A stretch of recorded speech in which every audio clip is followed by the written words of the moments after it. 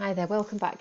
Uh, today we're looking at dew point profile data and we've already established the boundary temperature throughout a wall. We've looked at the from the inside surface all the way through to the outside surface. We've not only established what the boundary temperature is, we've established what the vapour pressure is at each increment as well. Now, we need this information because we need to know at what point are we going to be worrying about condensation. Now the condensation is going to be when the relative humidity or the um, the vapor within there reaches 100% saturation. Now there's two curves here. They're both the same. They're both psychrometrics. The relationship is always the same. The one on the left is someone that is produced been produced um, to show us the relationship between vapor pressure in kPa and temperature, which is what we've got. We've got our boundary pressure at PA and our temperature degrees Celsius. Lovely. And relative humidity. Great. So we can work it out just using this chart. However, I've shown you on the right our CIBSE psychrometric chart. Now this is the industry used um, standard chart. Um, you can't see kPa on there or anything like that. Um, you'd have to convert the values. So we're not, I'm not looking at this one right now. I'm going to look at this one here okay? And I'm going to show you how to work this out.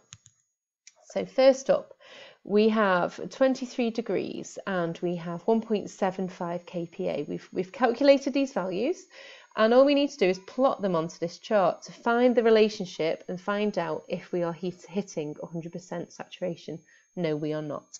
We're hitting 52 relative humidity we're all good um, when would we, be, we be worrying though? If the inside surface temperature, if the boundary pressure, the vapor pressure within the air stayed the same and the temperature suddenly dropped to about 12 and a half degrees, I've put 14 there, oops, um, 12 and a half degrees, that's when I would be worrying. That would be my dew point. That is when it turns into dew. That's when there's condensation. That's when I'm worrying about water vapor. Um, turning into water on that material or in that material. But I'm not worrying. It's good. That looks good. Okay, so I'm going to make my way through all the materials. Lovely. Nope, not worrying there either. Not worrying there either. Ha, I'm going to worry here. Um, at 9 degrees, I have 1.5 kPa. Okay, and that is well over my 100% relative humidity. That means there is water within that material. Okay, and the same with the brickwork. Okay, so that's yeah I would be worrying there I would need to be either raising the temperature okay or I'd be needing to sorry um, I'd need to, need to raise the temperature or I'd need to somehow um, emit the the vapor within that air. Okay. So there you go. That's how that works. Um, just going over to the psychrometric chart very quickly the standard CIBSE one.